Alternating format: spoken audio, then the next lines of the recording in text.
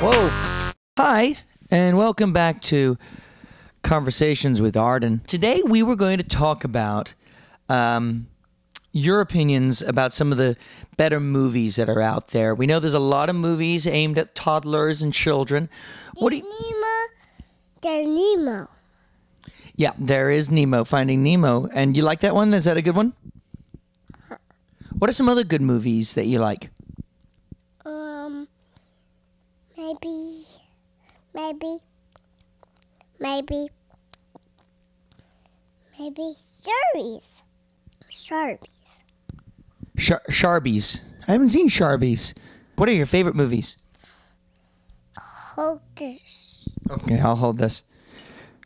Do you feel that the Muppet movies that were made in the uh, uh, early 80s, do you feel that they've held up or that the sort of glitz and glamour of Pixar films has made those Muppet movies look dated? Um, maybe I have Donald. And what about um, the singing musical uh, movies like uh, like the Muppet movie itself? Uh, that that they that the say. Together again? Yeah, that's that's from Muppets Take Manhattan, right? Is that the name of that movie?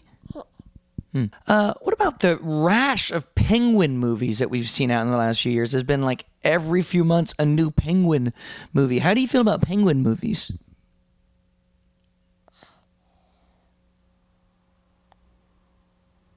Ice.